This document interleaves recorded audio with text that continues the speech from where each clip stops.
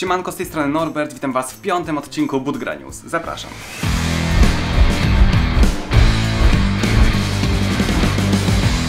Na samym wstępie zapraszam was oczywiście na mój Instagram onnorbi, który się tutaj z boku wyświetla i nie przedłużając przechodzimy do newsów.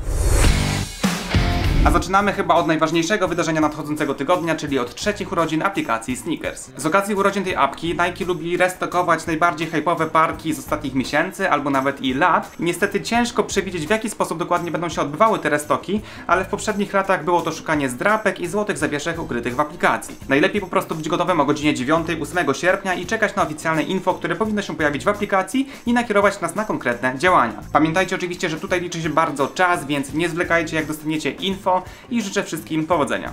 Kultowy serial The Simpsons kolaboruje z Vansem. Kolekcja, która wyjdzie już 7 sierpnia, zawiera naprawdę sporo itemków. Są zarówno ubrania, buty, jak i akcesoria. Będzie aż 8 odmian obuwia, które odnosi się do różnych postaci, więc jest w czym wybierać. Ubrania są kolorowe i naprawdę prezentują się bardzo dobrze. W Polsce kolekcja trafi m.in. do sklepu Chmielna 20.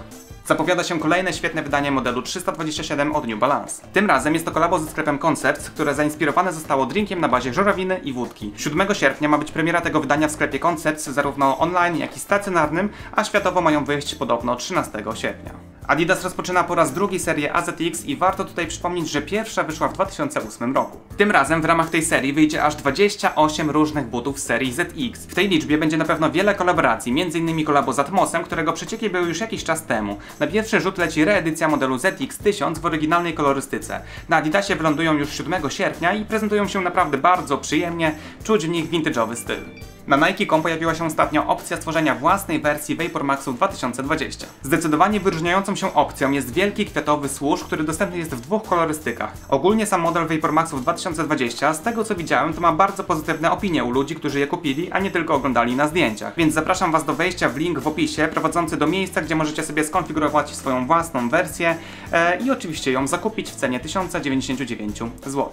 Projektant Feng Chen Wang zaprojektował we współpracy z Converse mega ciekawe rzeczy. Oprócz ubrań i akcesoriów, które wyglądają spoko i zdecydowanie wpasowują się w aktualne trendy, pojawiła się zupełnie nowa wersja modelu Jack Parcel. Wychodzi jasna i ciemna kolorystyka, a charakterystycznie pocięta cholewka wykonana jest z zamszu i skóry. Premiera tych butów w Polsce odbędzie się jutro i będą kosztować 569 zł.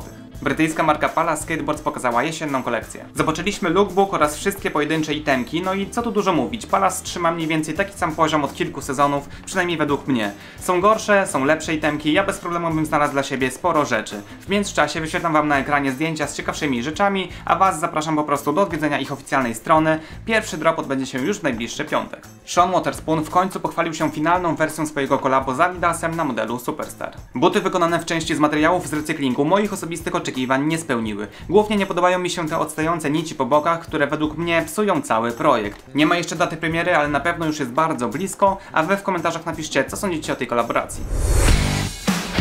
Przechodzimy do przecieków i zaczynamy chyba od modelu buta, na którym większość osób niestety się zawiodła i mowa tutaj o Jordanach czwórkach w kolaboracji z Union Los Angeles. Kolabo na Jordanach jedynkach zrobiło naprawdę furorę, ale w przypadku czwórek nie będzie tak na pewno. Kolorystyki nie zachwycają, a najgorzej wygląda chyba w nich język. Premiera ma być podobno w sierpniu, ale zainteresowania dużego nie wróżę, bo opinie w necie są wszędzie takie same. Easy 451 to mega kontrowersyjny model, a ostatnio mogliśmy zobaczyć zdjęcia wersji bez sznurówek, którą po prostu wsuwa się na stopy. Są to sample, ale według mnie prezentują się całkiem spoko. Ja wiem, że model jest bardzo kontrowersyjny, e, dużo, dużo ludzi mówi, że jest beznadziejny, ale ja widzę w nim coś fajnego, e, coś takiego, że mógłbym się nawet skusić na ich zakup. Na ten moment niestety żadnych szczegółów dotyczących premiery nie ma. Nie wyszły jeszcze pierwsze kolorystyki nowej kolaboracji Sakai z Nike na modelu Vapor Waffle, a już mamy przecieki dotyczące kolejnych czterech kolorystyk. Widzicie je teraz na ekranie. Ja mocno czekam, bo ten model mega mi się podoba, no i chyba nie tylko mi, a te kolorystyki powinny wyjść na początku 2021 roku. Do sieci wpadło też zdjęcie nowego CW konwersów w kolaboracji z Golf Le Fleur. Widzimy tu jedną stronę cholewki w kolorze czerwonym, drugą w niebieskim, a pomiędzy nimi jest żółty język. Data premiery tego modelu nie jest jeszcze znana. Teraz czas na najbliższe premiery i naprawdę jest ich bardzo dużo, a zaczynamy od dzisiejszej w sumie lekko spóźnionej premiery Conversów w kolaboracji z Rockit, o której już w sumie wspominałem w którymś poprzednim odcinku. Będzie bluza za 359 zł, spodenki za 299 zł, a te buty, o których mówiłem za 399 zł. Jak to oglądacie, to pewnie już wszystko jest dostępne na stronie converse.pl. 6 sierpnia odbędzie się premiera według mnie bardzo mocnej kolorystyki Jordanów jedynek. Kolorystyka nazywa się Satin Red i posiada imitację skóry węża na czarnych elementach. Niestety kolorystyka jest tylko w damskiej rozmiarówce do 44,5, więc mocno ograniczona. Cena to 679 zł i dorwiecie ją na awce Sneakers. Tego samego dnia, ale godzinę później czeka nas aż 9 premier i jeden restock butów stworzonych we współpracy Adidasa i marki Human Made. Zacznijmy może od tych nowych modeli, trzy kolorystyki Adidas Campus, które nie oszukujmy się, nie wyróżniają się zbyt mocno. Ich cena to 649 zł. Dalej mamy model Rivarli, który mi trochę przypomina Air Force od Nike. Jedna kolorystyka nawet mi się podoba, ale wróży tym butom przeceny na wyprzedażach. W dniu premiery trzeba za nie dać 649 zł. Najciekawsze są zdecydowanie Stan Smithy, które wyjdą w czarnej kolorystyce oraz dwóch białych z zielonymi oraz szarymi wstawkami. Tutaj mocno wyróżnia się logo Human Made z boku. Za nie Adidas życzy sobie 599 zł, a dodatkowo jest restock Stan Smithów w bardziej subtelnej wersji, która wyszła na początku roku i w sumie wspominałem już o niej w jakimś odcinku na tym kanale. Jutro również na stronie Nike.com wpadną dwie kolorystyki Vapor Maxów 2020, które prezentują się naprawdę bardzo dobrze. Brudno-biała i granatowa kolorystyka będą dostępne za 969 zł. Ostatnia informacja dotycząca premiery w dniu jutrzejszym jest o kolaboracji Feng Chen Wang z Converse, o której wspominałem w newsach. Szukajcie ich na stronie Converse w cenie 569 zł. 7 sierpnia będzie premiera reedycji ZX1000, o której wspominałem w newsach. Cena to 399 zł i pojawią się o północy na adidas.pl. W ten sam dzień, ale o godzinie 10 na adidas.pl pojawią się nowe modele w kolaboracji z marką OAMC. Model Type 04, który absolutnie nie wzbudzi waszego zainteresowania oraz model Type 05, który według mnie wygląda bardzo interesująco i trochę się dziwię, że jest o nim tak cicho. Może przez cenę, która wynosi aż 1299 zł. Model Type 04 jest stówkę tańszy. A pół godziny po tej premierze, czyli o 10.30, chyba najciekawszy model w tym tygodniu od Adidasa, czyli Ultra Boost 4D Parley. Trzeba za nie dać 1099 zł, ale tu na cenę bardzo wpływa fakt, że buty są na podeszwie 4D, która wciąż trzyma cenę u Adidasa. No i w tym przypadku, jeśli chcecie kupić ten model, to koniecznie musicie się zapisać do losowania na aplikacji Adidasa maksymalnie godzinę przed dropem. Oczywiście tego samego dnia ma również premierę kolaboracja The Simpsons z Vansem, o której wspominałem w newsach. Przechodzimy do następnego dnia, czyli 8 sierpnia i wtedy w aplikacji Sneakers powinny być do wyrwania dwie kolorystyki urodzinowych Air Maxów jedynek. Obie pary mają wytłoczoną datę 8 sierpnia na zapiętkach. Damska wersja to połączenie perłowego i szarego koloru, a męska to odcienie brązu. Obie na oficjalnych fotkach wyglądają na starannie wykonane, ale zobaczymy jak będzie w rzeczywistości. No i tego samego dnia oczywiście będą urodziny aplikacji, więc warto o tym pamiętać, bo będą restoki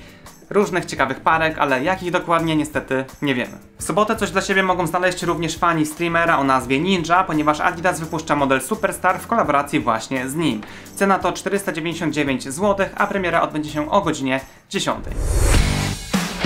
Przechodzimy do LPU i tutaj mam jeden itemek, który już zresztą pokazywałem na tym kanale, ale nie wszyscy obejrzeli ten odcinek, więc wspomnę jeszcze o nim tutaj. A chodzi o konwersy, gdzie one są, tutaj są. Converse Chuck Taylor All-Star Crater, które zostały wykonane w co najmniej 40% z materiałów pochodzących z recyklingu. Prezentują się w taki sposób.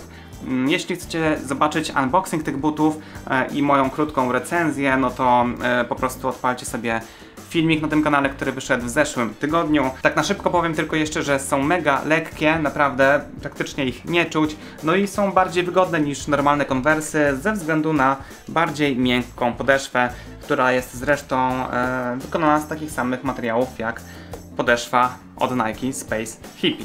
E, tak więc to by było na tyle, jeśli chodzi o LPU.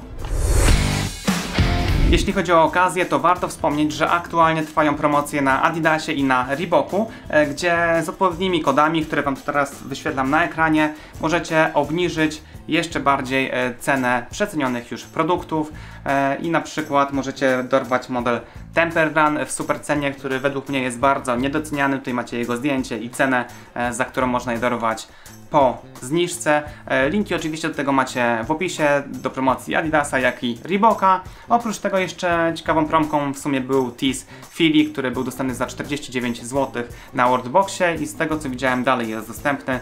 E, Jest to chyba najniższa cena tego Teesa w internecie, więc e, wydaje mi się, że też jest spoko.